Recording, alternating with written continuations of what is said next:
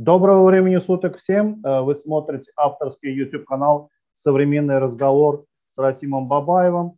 Сегодня в эфире э, со мной э, мой давний знакомый друг, израильский политолог, кандидат политических наук Юрий Бочаров. Добрый вечер, Юрий. Как ваши дела? Добрый вечер, Расим. Спасибо, слава Богу, живы-здоровы.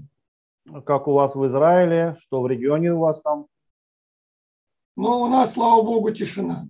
Что с у коронавирусом? Нас, богу, ну, смотри, события, последние события в мире, мне кажется, свели на нет коронавирус вообще.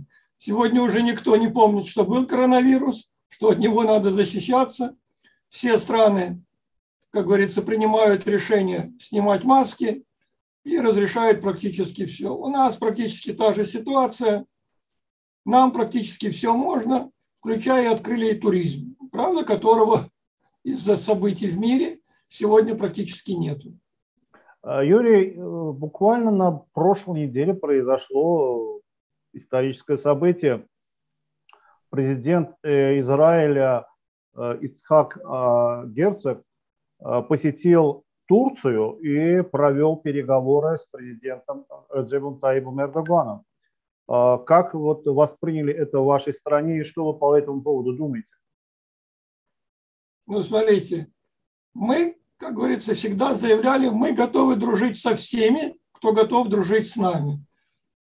Еще где-то лет 10-15 назад у нас были самые теплые отношения, взаимоотношения с Турцией, был один из самых больших товарооборотов между нашими странами.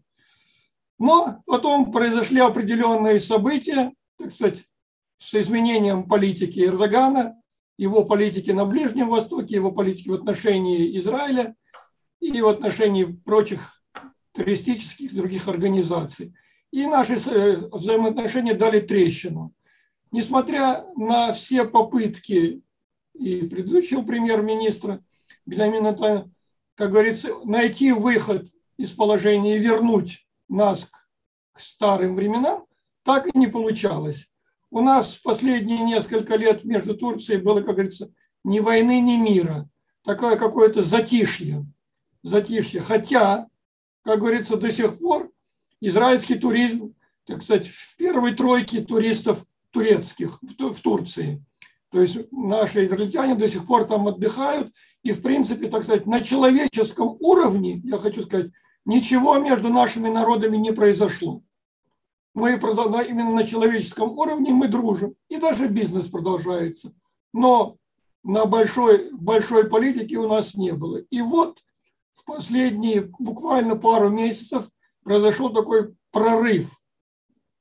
Юрий, есть, я думаю, что, того, я, извините, перебиваю, я думаю, что во многом это а, произошло и благодаря а, усилиям президента Азербайджана Ильхама Алиева, который имеет Э, как бы это добро, добрые отношения как с Эрдоганом, так и с лидерами э, Израиля.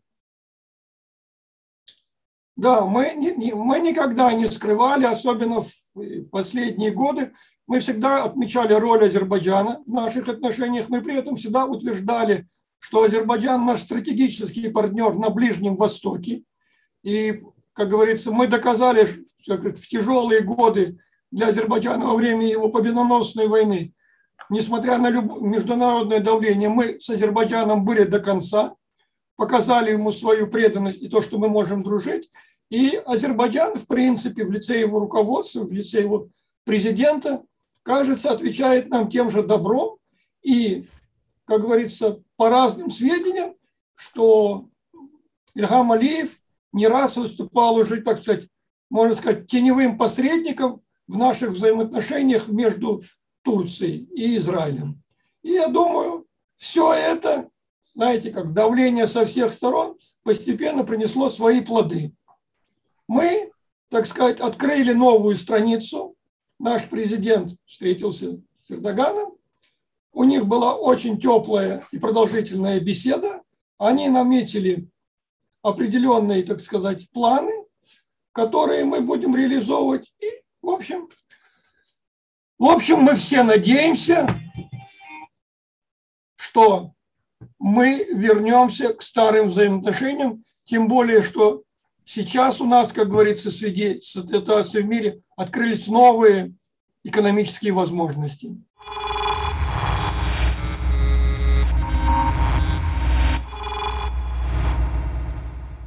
Я думаю, что э, эта встреча Эрдогана с герцогом стала, э, возможно, та же, также, э, точнее, э, возможно, эта встреча готовилась, стороны шли долгие годы к диалогу, но в качестве лакмусовой бумажки, которая как бы активизировала эти процессы, стал, стали изменения в мире сегодняшнем.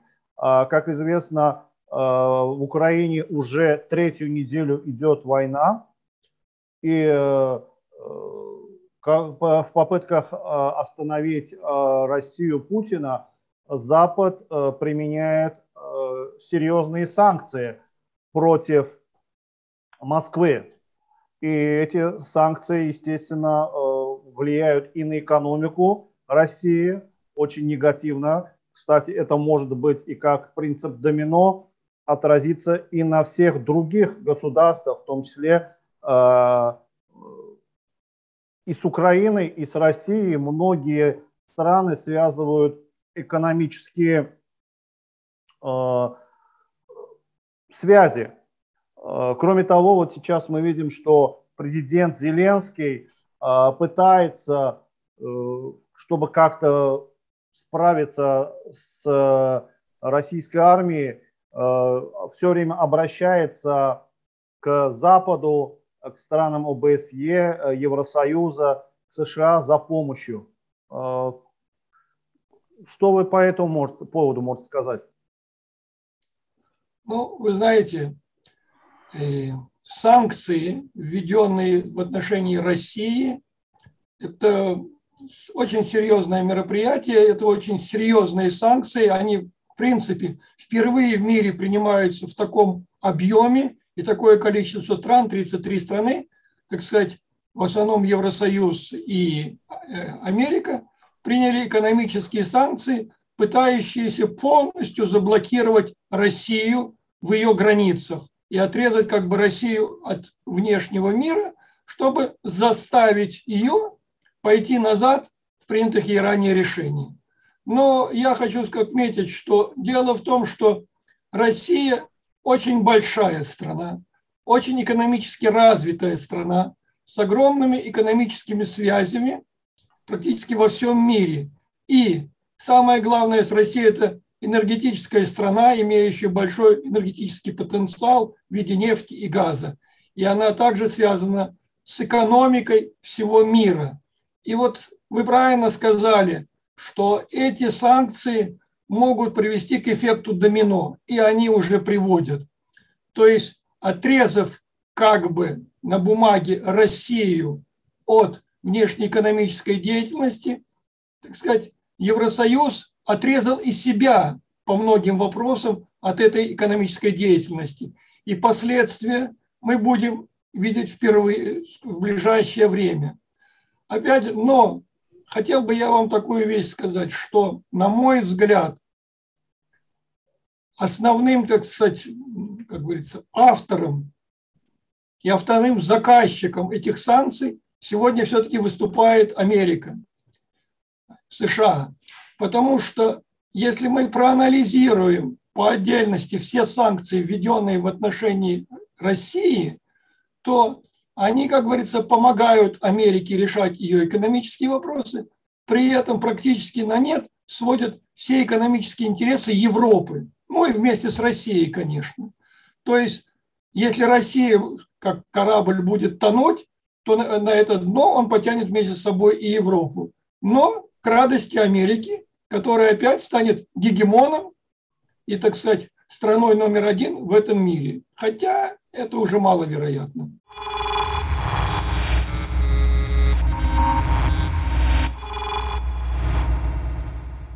Юрий, я думаю, что это э, не только вот санкции, которые э, направлены на долгосрочные перспективы э, экономическом плане, чтобы как бы уничтожить экономический потенциал России, возможно и очень даже вот вероятно, что многие политики сегодня, которые у власти в той или иной стране, используют вот эту войну, противостояние военное между Россией и Украиной в своих личных целей, целях. Потому что мы знаем, что э, в ряде стран готовится э, к проведению выборов.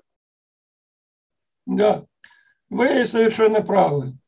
Если мы вспомним начало Нового года, то Борис Джонсон прятался и от коалиции, и от оппозиции, которая кричала ему и показывала на двери. Почему? Потому что, как говорится, когда он ввел в стране полную блокаду из-за коронавируса, оказалось, что в его, как говорится, канцелярии регулярно проходили кооперативные вечеринки, и которые плевали на все ограничения. Все это привело к тому, что, как говорится, ему стали намекать, что если он честный парень, то ему пора подать в отставку. И вдруг он получил карт-бланш. Он везде кричит о ядерной угрозе. Он защищает Британию от ядерной угрозы. Он защищает Евросоюз от ядерной угрозы. Он обещает послать войска. Опять же, это какие-то странные цифры. 100 человек в Польшу, 500 человек в Прибалтику. Но это звучит красиво. Он посылает войска, он защищает Европу, он сделает все, чтобы, как говорится, Европа чувствовала себя в безопасности. Это один момент. Второй момент, если мы вспомним президента Франции Макрона, у него тоже будут выборы в перспективе. А, и чтобы вы понимали, выборы уже идет пару месяцев, но он до сих пор не заявил о том, что он собирается баллотироваться. Почему? Потому что проваливший экономику Макрону нечего было сказать своим избирателям. А тут появился шикарный информационный повод. Вы помните, он начал летать в Москву, в Европу, то есть как почтальон возить э, письма из, э, из НАТО Путину, от Путина в Германию и все. То есть он стал голубем мира. И, естественно, в этом моменте у него появилось что сказать своим избирателям, и он тут же сразу заявил, что он готов выставлять свою позицию на след... свою кандидатуру на следующих выборах, потому что он, как голубь мира, знает, что делать и как решать проблемы Европы. Это второй момент. Ну и третий, как говорится, Джо Банден, Байден, как говорится, у него сегодня нет выборов, но на него оказывается определенное давление всяких различных экономических кругов. И в угоду как этих экономических кругов он и принимает разные дополнительные решения. Кстати, недавно, когда он попытался подружиться сейчас с Саудовской Аравией, они сказали, Сауд принц, наследный принц, заявил, что зачем говорить с человеком, который должен потом посоветоваться с кем-то, прежде чем принимать решение. И, как говорится, заявила Саудовская Аравия, и нам легче говорить с Путиным, который принимает решение, сидя за столом. Вот это политическая составляющая, почему сейчас ряд политиков так беспрестанно вылазят на экран и кричат, что они спасут мир. У них свои выборы в стране, у них свои проблемы, их надо отвлечь свой электорат от проблем, от внутренних проблем, проблемами в мире. А война – это лучший способ отвлечь электорат от насущих проблем.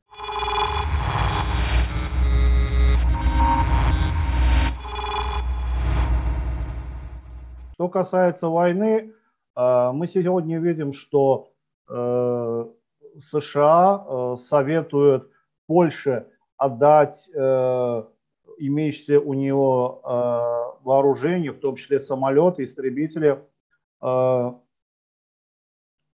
армии украинской, украинской армии. В ответ на что Польша заявляет, что это должны, такое решение должно быть принято официально самим Вашингтоном, и Вашингтон должен передавать, э, значит, оружие, поддержку оказывать в этом плане. Э, кроме того, Байден заявляет о том, неоднократно заявлял о том, что они будут подтягивать силы НАТО ближе э, к восточной Европе, странам Восточным, но вступать в войну на территории Украины не будут. Кроме того, вот также Зеленский неоднократно обращался к западным своим партнерам, как, каковых он считает партнерами, с тем, чтобы закрыли небо над Украины. А, опять же, мы видим а, положительного решения он так не дождался. То, то есть получается, что Украину все-таки отдали на заклание? Ну, смотрите, Евросоюз в очередной раз вместе с американскими коллегами продемонстрировал определенный закон. Спасение утопающих – дело рук самих утопающих. И если вы помните, еще перед началом войны когда очень многие политики мира говорили с Путиным, я думаю, он резко их всех предупредил о своей позиции и просьбе обстоятельства невмешательства. Я как слышал, за день до начала боевых действий весь атомный подводный флот России ушел в дальнее плавание. То есть сегодня в мире где-то плавает 160 ракетоносцев с ядерным оружием на борту, и никто не знает где. И это очень сдерживающий фактор, чтобы заявлять, естественно, все заявляют, что НАТО не участник конфликта, НАТО защищает только себя, и, как и заявлял Байден, Америка интересуется только Америкой, так сказать, и демократией в мире, но воевать с Россией не намерены. То есть все хотят загребать жар чужими руками, то есть жар руками украинцев. И, как говорится, вот этот постоянное повторение по любому поводу, что НАТО не участник конфликта, ставит в глупое положение и члены НАТО, и Украину, потому что руководство их, так сказать, постоянно выходит на телевидение, на, на все СМИ с красивыми речами, с с, призывами, в ответ слышит, мы будем помогать, мы дадим деньги, мы дадим помощь, но мы в это не вмешиваемся. То же самое произошло и с самолетами. Кстати, Польша просто хорошо подсуетилась. Те самолеты, которые у нее есть, старые МИГи, все понимают, что это старые самолеты, и в реальной войне, в современной войне, как вот доказали события на Украине, они долго не продержатся. Что бы рассказала Польша?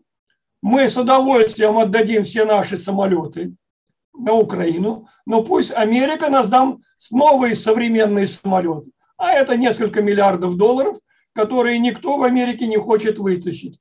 Публично, в принципе, было заявлено, что мы готовы вам дать самолеты, отдайте их Украине. На что Польша сказала, она не участник конфликта, она поддерживает Украину, но перегонять самолеты на ту сторону – то есть пилоты, польские пилоты и прочие никогда не полетят в сторону Украины, а украинские пилоты, так сказать, если при, тоже не могут приехать в Польшу и взять самолеты. То есть, опять же, идет все двойные стандарты, и идет простая демагогия. Поляки сказали очень красиво. Это вопрос НАТО. Давайте мы перегоним самолеты в Германию, на центральную базу НАТО, и пусть оттуда все забирают, пусть они оттуда летят. На что НАТО сразу испугавшись сказал, что НАТО не член конфликта, поэтому никакие базы использовать не будем. То есть круг замкнулся. Красиво все сказано, но, так сказать, все, как говорится, как у нас говорят, кинули в очередной раз, так сказать, своего партнера.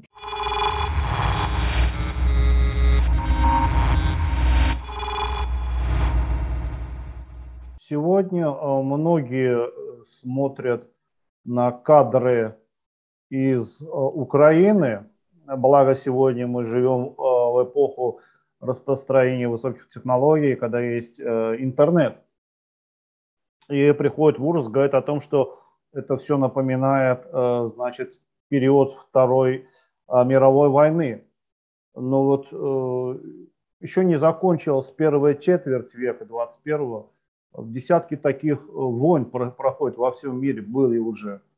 И э, когда вот сегодня видит, как вообще такое вот возможно, что вот 21 век вроде век цивилизации, высоких морали, как бы сказать. И вот но я, бы, я думаю, что я вы, вас... вы можете э, рассказать о том, вот какие страны, ну, Сирия, допустим, один из примеров. Я вам такое вещь скажу. Сегодня, к сожалению, все, что красиво вы сказали слова про наш век, то есть век высокой морали и помощи, это все слова. 70% населения до сих пор не доедает, 50% населения живет, в, так сказать, в тотальной бедности, и никому нет до этого дела. Э, правда, в 21 веке на сегодняшний момент произошло более 50 войн и вооруженных конфликтов.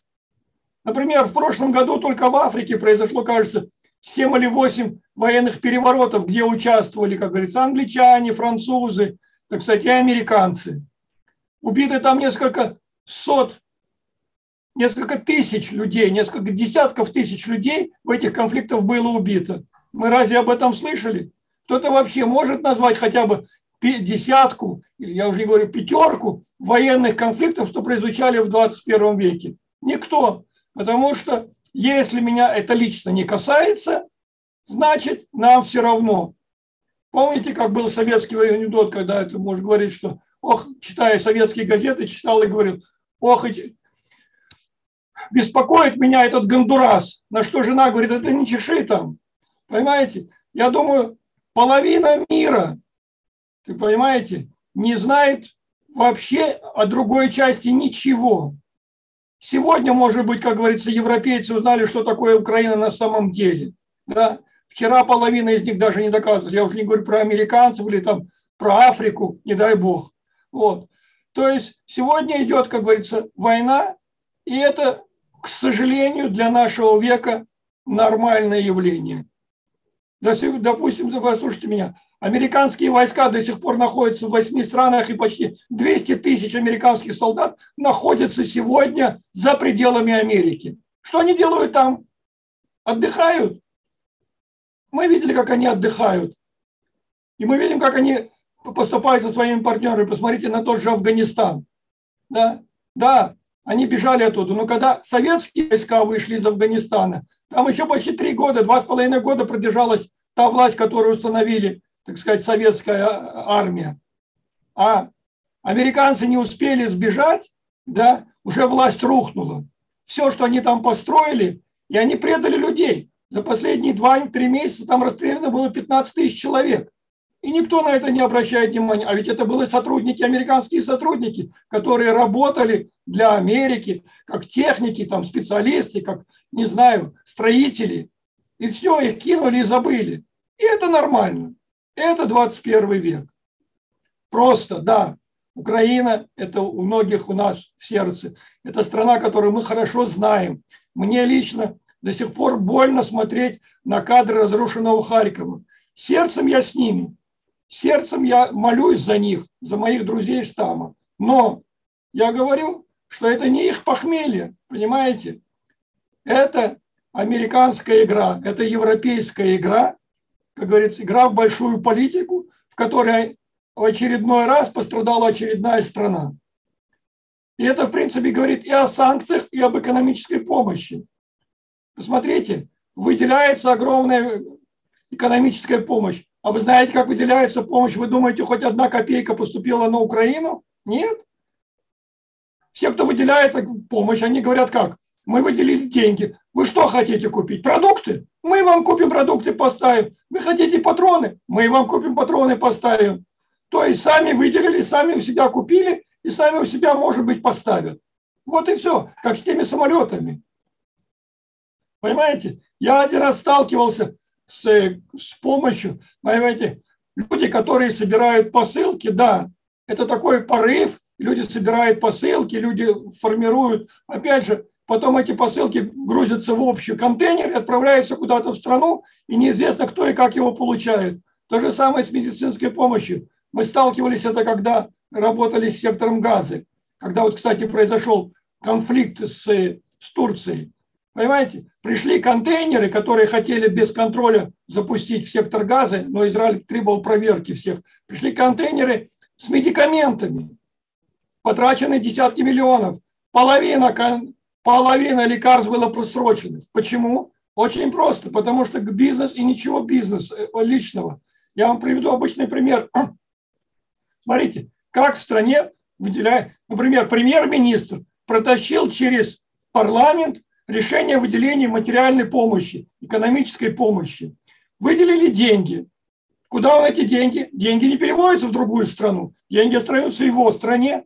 И как бы, чтобы было все красиво, устраивать тендер, тендер среди его представителей. Приходит 5-6 каких-нибудь медицинских магнатов, которые поддерживают партию, выигрывают этот тендер, так сказать, на словах, и потом делят эти деньги. А чтобы потом забить контейнеры, все, что есть невостреб на их складах, все, что есть, как говорится, просроченное или ненужное, забивается в этот контейнер, пишется цена вдвое больше, дешевле, деньги списаны, контейнеры ушли. Никто не проверяет, что в этих контейнерах. А если они, когда они придут до людей в горячие районы, кто-то скратит, что там просрочено, его объявлять врагом, что ему дали, а он, как говорится, плохо говорит о стране. И тут же назовут террористом или, как говорится, э, врагом с противоположной стороны. Вот так делится экономическая помощь, вот так на экономической помощи все зарабатывают. Все, кроме той страны, которой эта помощь нужна. То же самое по большинству санкций. Санкции, введенные Америкой, так сказать, введены в первую очередь для себя. Как я сказал, Евросоюз завязан на энергоносителях России. Да? 30% покупного газа идет из России. Бешеные цены произошли, опять же, не по вине России, а по вине э, Евросоюза. А при том я хочу сказать, кто еще поставляет газ на Россию, э, в Европу? Это Норвегия, это Англия, это Алжир, это Катар и еще там десяток стран по мелочам. И что, все эти страны, которые поставляют сегодня газ, сделали какую-то скидку? Нет. Они поставляют этот газ по биржевой цене. Они все заработают, несмотря на то, что они члены Евросоюза, друзья и прочее, ну, за исключением там Африки и Катара. Все пользуются моментом, что можно заработать деньги. И они эти деньги зарабатывают. Сегодня, когда будет вдруг Почему уже некоторые, та же самая Германия, та же самая Болгария уже выступила против санкций, части санкций. Все говорят, да, мы единая семья, мы должны поддержать демократию, помочь победить демократию, так сказать, остановить войну экономическими санкциями. Но просим нефтепродукты вывести из этих санкций. Почему? Потому что завтра становится треть нашего производства. Треть наших заводов станет, а нашим людям все равно. Им наплевать на вашу войну, им хочется есть. Возьмите давно Америку. В Америке подскочила цена на бензин. В Америке есть такая ассоциация автомобилистов. Одна из крупных таких серьезных ассоциаций, кстати, спонсор, один из многих спонсоров избирательных кампаний президентов. Так вот, эти ребята, так сказать, тихонечко заявили Байдену, что если не, цена на бензин не упадет, то навряд ли на следующих выборах они будут поддерживать его. А это серьезные голоса. И что сделал Байден? Он первым делом перечеркнул все ранее принятые решения Америки. Америка уже три года, как говорится, гнобит Венесуэлу, считая ее страной, поддерживающей террор и наркотики, и поэтому поставки нефти из Венесуэлы запрещены. И что? Американские представители полетели в Венесуэлу сказать, ребята, мы готовы на минуточку забыть, что вы террористы и наркобароны, мы разрешаем вам торговать нефтью, только дайте быстрее нефть, чтобы цена в Америке упала. Был конфликт у Байдена с наследным пленным в Саудовской Аравии. Он, как говорится, обвинил его в убийстве, в убийстве террориста и демонстрационно не разговаривал с ним. Сегодня, когда Саудовская Аравия, представитель ОПЕКа, заявила, что они не будут, так как цена на нефть не связана с экономикой, а связана с геополитикой, поэтому они не видят смысла повышать добычу нефти, то есть падать ее в цене. То есть американцы сразу же позвонили и сказали, а когда вы хотите, чтобы к вам приехал Байден, попросил извинения, но только сейчас вы поднимите добычу. На что Саудовская Аравия сказала, у нас есть свои интересы, И мы рассмотрим ваш вопрос в ближайшее время. То есть, видите как, политика, внутренняя политика страны определяет позицию на внешнем рынке, ее официальных представителей. Вы понимаете? Все забыли, лишь бы, лишь бы пошла дешевая нефть, цена на бензоколонки упала. Вот и все. Вот отношение западных стран, западных руководителей вообще к экономике в мире. Свое и только свое и больше ничего. Как говорится, бизнес и ничего личного. Вот вам и санкции. Вот вам и отношение государства к государству. Спасибо большое. Вы смотрели э, эфир авторского YouTube-канала э, «Современный разговор» с Расимом Бабаевым, э, с израильским политологом, кандидатом политических наук Юрием Бочаровым. Спасибо большое, Юрий. Спасибо и вам. Встреч. Удачи.